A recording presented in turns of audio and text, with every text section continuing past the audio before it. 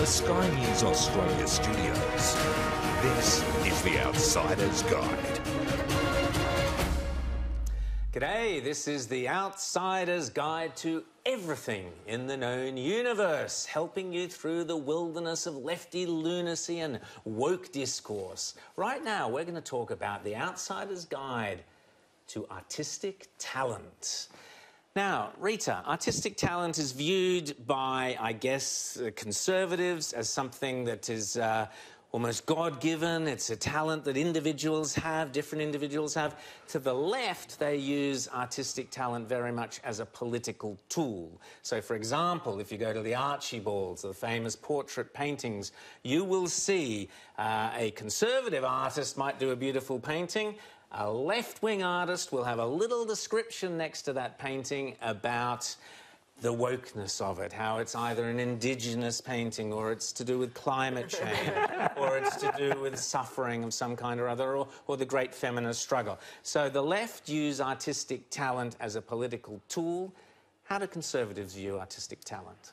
I wonder if it's the left using it as an artistic tool and having the inability to separate their work from their politics, or whether it's just a fact that for for a very long time that the overwhelming majority of the artistic world, whether you're talking about painters or actors or musicians or TV presenters, even, the overwhelming majority of them lean a certain way. And in, in, the entertainment and artistic industries, it's very much left, quite often far left, Why? far more left. Why? I just think there's certain occupations that lean a certain way. I've never really uh, pondered why that is. James, do you have any well, look, I'm going to I'm going to just go dive deep into the pages of history here, but I'd say that there's basically two things that kicked off this idea that artist art art is really a predominantly left-wing concern. Number one, World War One. Number two, Joseph Stalin and what happened in the Soviet Union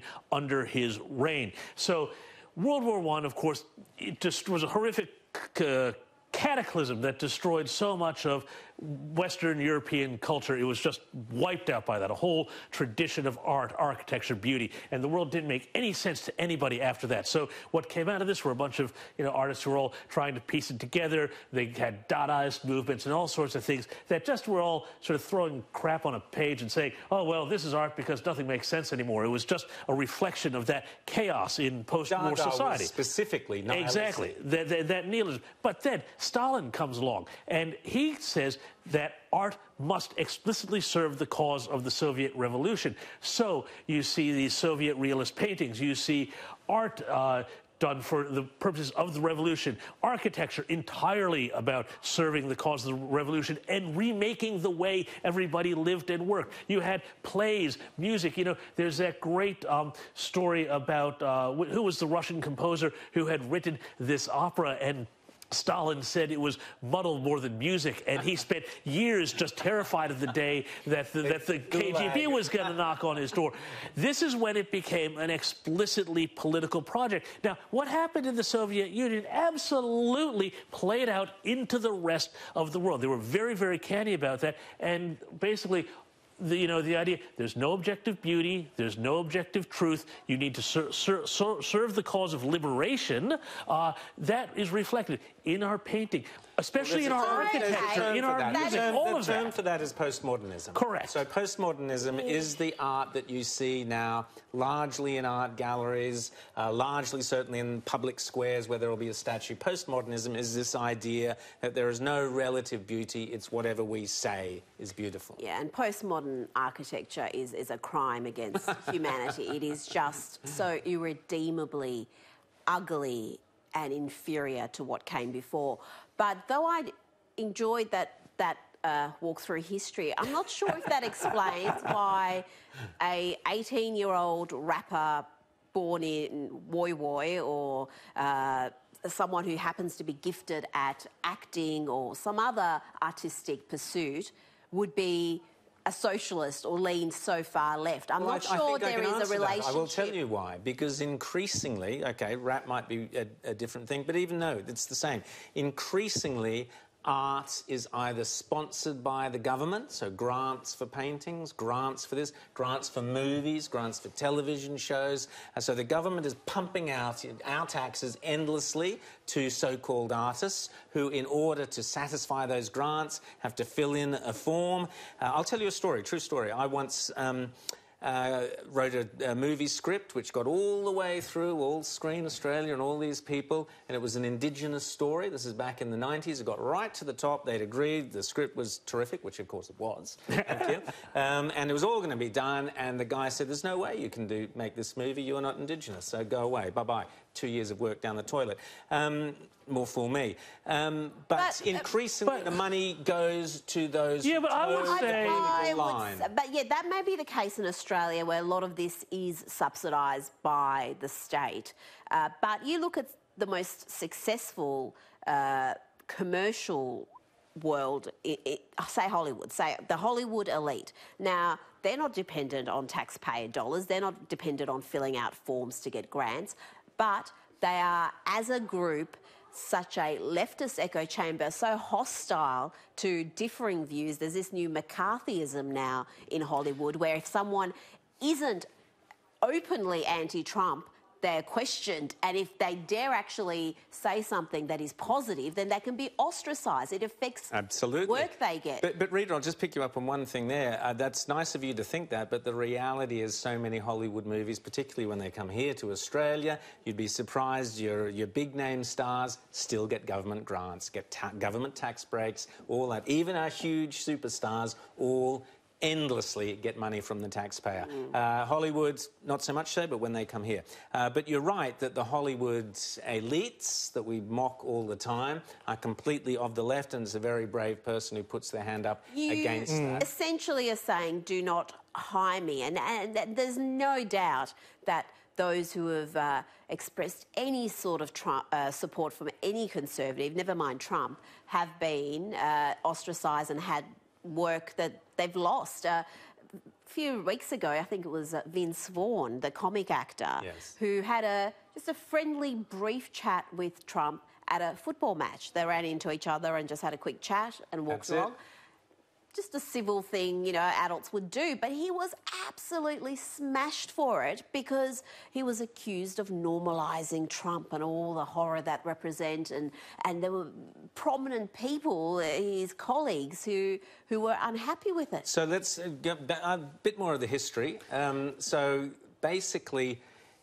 the art that we regard as classic art, yep. the Michelangelos, but even, Da Vinci's, even later, they were even later. They their essential role was expressing their individual artistic vision, often in the name of God, by the way. Often, often yes. Patronised by the well, often, whatever, but using their individual talent how political was classical art?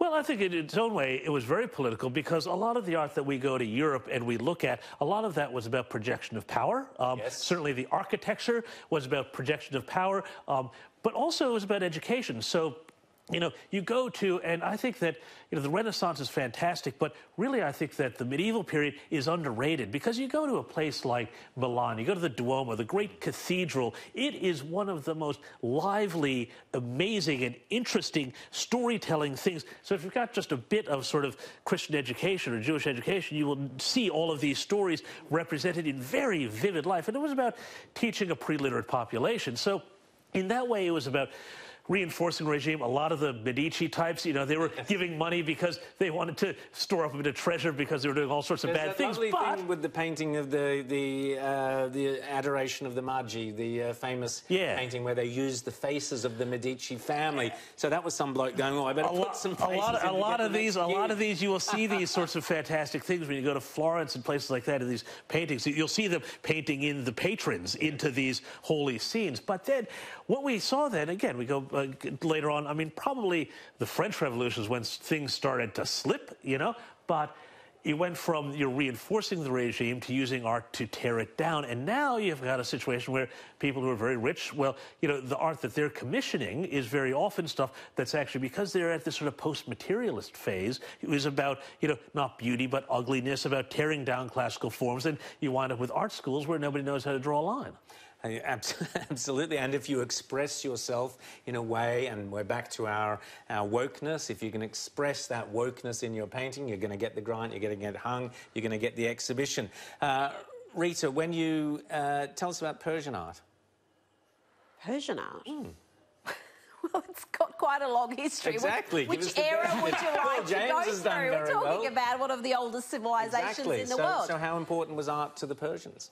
Well, it was pretty important, but in the last 40 years under the Islamic Revolution, of course, things have uh, changed fairly Yes, markedly yes. there because uh, uh, things that were embraced and uh, allowed have now been deemed haram and no longer Forbidden, yeah. no longer allowed. Yes, Because forbidden. places like Isfahan are very beautiful, beautiful. Absolutely, the architecture there, the the uh, intricate artwork is, is stunning. Um, I'm telling you from very very long ago held memories of Yeah. you know more than three decades ago and pictures I've seen because. Sad reality is I can't go back and ever see any of that because it's not a never know. safe country might change, for me. It might change. But art, again, has been used politically, it's been used religiously. Now we're back in a situation where art virtually exclusively is serving the interests of the elite, kind of politically correct state in many ways. It, the, the freedom of expression, we're not seeing it. We're not seeing individual artists break, maybe in rap and things like that, but basically.